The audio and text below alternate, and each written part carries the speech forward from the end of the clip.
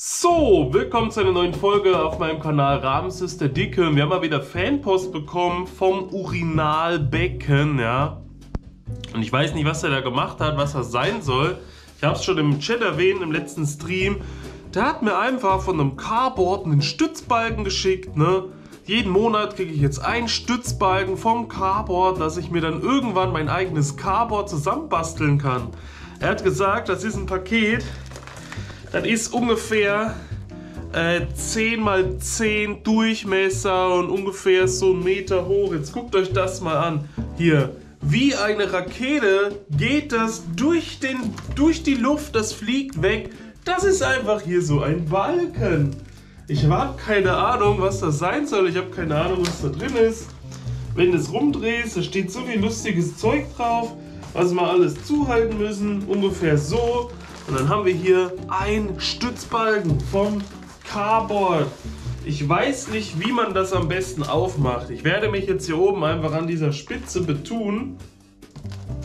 Werde einfach überall reinstechen, wo was zum Reinstechen ist. Werde gucken, dass ich meinen Finger nicht kaputt mache. Werde hier hinten mal irgendwas machen. Der Karton kann eh weg. Wir müssen es jetzt, komm Adi, wir schneiden es jetzt auf. Wir schneiden jetzt einmal außen hier rum, als wären wir der Doktor. Oh, die Füße, guck doch mal die Füße.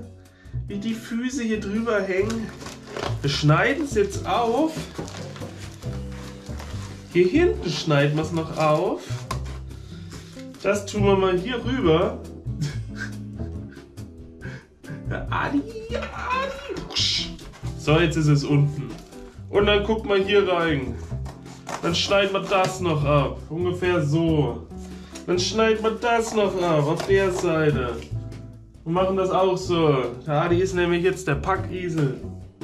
So, und jetzt können wir hier reingucken, was da drin ist. Das ist wie eine Zuckertüte gemacht, glaube ich. Geh nur fest hier rein.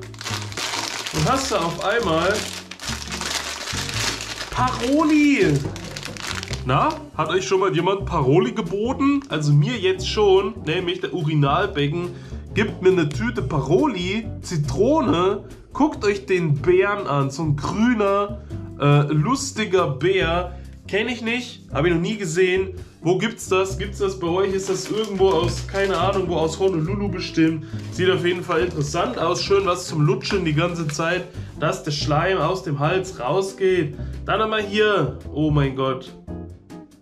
Ist das jetzt für Tiere oder ist es für mich? Da steht nämlich Wildkind Adult. Wildkind Adult. Summerhill mit viel frischem Landfle äh, Lammfleisch. 66% Fleisch, Waldbeeren und Wildkräuter. Monoprotein. Also könnte man denken, das ist so ein schönes Glas Wurst für mich, ne? Schön Lammfleisch mit Waldbeeren, mit Wildkräutern, aber ich glaube, das ist Katzenfutter. Obwohl, ist, ist das eine Katze, ist das ein Wolf, ist das sonst was? Sieht auf jeden Fall sehr verdächtig aus. Da stehen die Lämmer noch auf der Weide. Wildkind. Das ist für dich, Ari. Da guckt er schon, ne? Das willst du schon aufmachen. Das können wir dir nachher gleich mal geben. Du kriegst nachher eh noch Mittagessen, ne? Da heißt bevor du diese lumpigen Ja-Tütchen kriegst, gibt's einfach mal ein Wildkind mit Lamm Nochmal Paroli. Noch Paroli statt Zitrone mit Apfelzimt. Was ist das bitte für eine geile Kombination? Apfel finde ich übelst genial. Apfelbonbons, Apfelmilchshake, sonst was. Richtig heftig. Und das ist Apfelzimt. Das heißt, da denkst du schon, es ist Weihnachten, ja. Auch wieder von Paroli. Auch wieder dieser komische Bär. Jetzt haben wir hier eine zweite Tüte Apfelzimt. Das heißt, da könnte ich sogar eine dem Muttertier mitgeben. Wenn die sagt, das schmeckt, dann könnte die auch eine ganze Packung Paroli für zu Hause haben. Das Muttertier ist immer noch da. Die überlegt sogar, ob sie vielleicht noch eine Woche verlängert, weil es ihr immer noch nicht so gut geht und sie zu Hause einfach total verloren wäre und dass ich das bestimmt aber nicht will. Meine Meinung dazu, die letzten zwei Wochen waren eigentlich richtig cool. Ich äh, äh habe immer gemerkt, es ist jemand da, ich hatte auch Aufgaben im Leben, ich konnte mal mich ums Armbrot kümmern, ich konnte ihr mal einen Tee machen, äh, wenn sie was gebraucht hat, ich konnte mich kümmern. Fand ich eigentlich cool, hat Spaß gemacht und ja, solange es ihr noch nicht gut geht, also meinetwegen könnte sie ruhig auch nochmal da bleiben. Jetzt haben wir hier Bigos mit Schweinefleisch und Jachtwurst. Hergestellt in Deutschland mit Sauerkraut, Weißkohl, Schweinefleisch, Jachtwurst, geräucherten Bauchspeck aus EU und Nicht-EU. Also überall her. Nicht nur aus der EU, sondern sogar aus der Nicht-EU. Also mit Bauchspeck einfach nur. Egal wo der herkommt. Kennt ihr Bigos? Schon mal Bigos gehört? Vielleicht haben wir jetzt schon genau das nächste Mittagessen für heute gefunden. Ein Beutel Bigos. Schön Chili-Soße dran, dass es schön kräftig wird. Da ist auch noch ein zweiter dabei. Ist das auch ein Bigos? Oder ist das was anderes? Es ist was anderes. Es ist nämlich ein... Alter, was sind das für Firmen? Ich glaube, Bigos ist die Firma. Und das ist von La Finesse. La Finesse Fleischbällchentopf mit grünen Bohnen. Fleischbällchentopf mit grünen Bohnen. Wieder ein Mittagessen gesichert. Finde ich auf jeden Fall sehr cool. Jetzt weiß ich auch, wieso das Teil hier so schwer ist. Wenn da so fette große Dosen drin sind. Der Dosenbalken vom Urinalbecken. Und wir haben noch einen Linseneintopf mit Fleischschweiß. Schweine mit Schweinefleisch, Linseneintopf mit Schweinefleisch, darauf freue ich mich besonders. Nicht auf das Schweinefleisch, aber auf den Linseneintopf an sich. Ich weiß nicht warum, normal esse ich überhaupt gar keine Linsen großartig, so Linseneintopf, hm, brauche ich nicht. Als Kind immer gesagt, nein, danke, aber jetzt mittlerweile als es mir so schlecht ging letztens, der Geschmack auch nicht da war und ich habe hab gesehen, da ist noch eine Dose Linseneintopf, die die Tante mitgebracht hat. Den mach mal, da habe ich jetzt Bock drauf. Jetzt ja auch, nächster Linseneintopf, kannst du auch wieder diese Flying Goose Chili Soße drauf, dass es dann schön alles richtig feurig ist.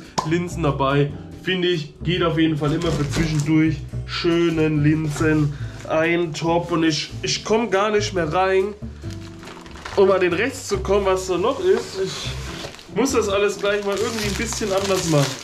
Jetzt haben wir hier, das verstehe ich nicht. Hustinetten. Hustinetten Kirsche. Aber da ist doch auch wieder dieser blöde grüne Bär. Ich denke, das ist Paroli. Hustinetten? Paroli. Hustinetten? Paroli. Es ist sogar hier, sieht genau gleich aus. Es ist einfach so ein rundes Bonbon. Es ist ein rundes Bonbon. Ich hätte ja verstanden, wenn es eine Bonbons sind zum Lutschen und das andere eher so zum Kauen, so, so Fruchtgummi, also so Mint. Gummi soll ja gesund sein, soll ja zum Kauen sein, soll ja sonst was. Wir drehen das jetzt mal um und schauen mal, ob wir hier noch an die Füllung rankommen. Wenn wir jetzt so reingreifen, Alter, Guck dir meinen Arm an, der ist jetzt 100 Kilometer lang und wiegt eine Tonne, genau. Ich komme hier nur nicht weiter. Weil genau hier in der Mitte der Karton zusammengeführt wird.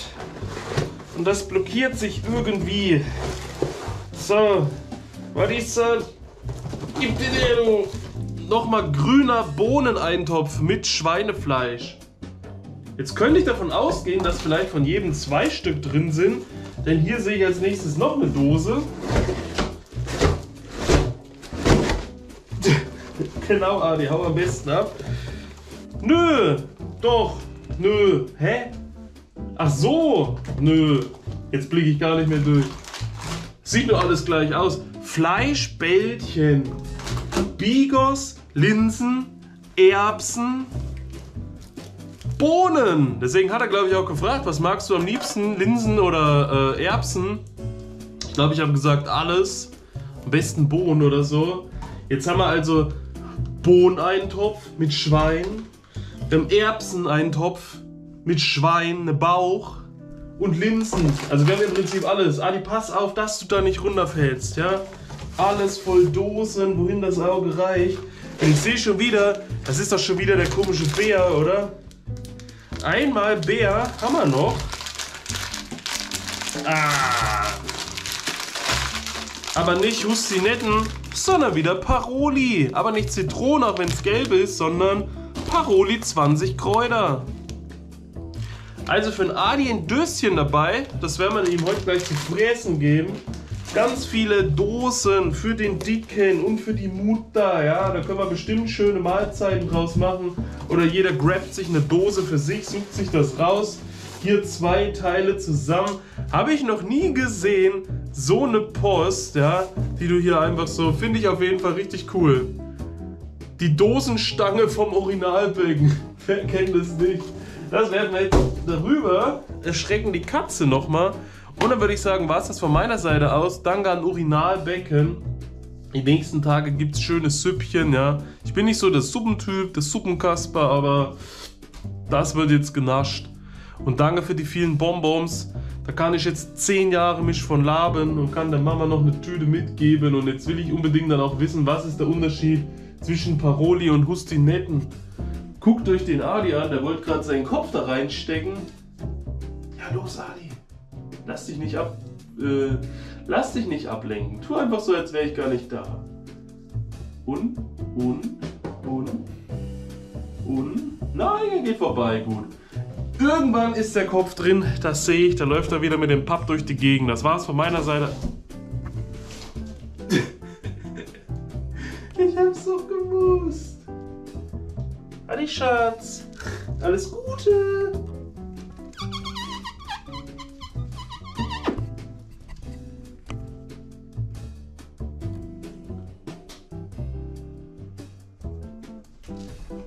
So, das war's aber jetzt wirklich von meiner Seite aus. Wir sehen uns beim nächsten Mal. Bis dahin, Peace out, Vorhaut, euer Ramses.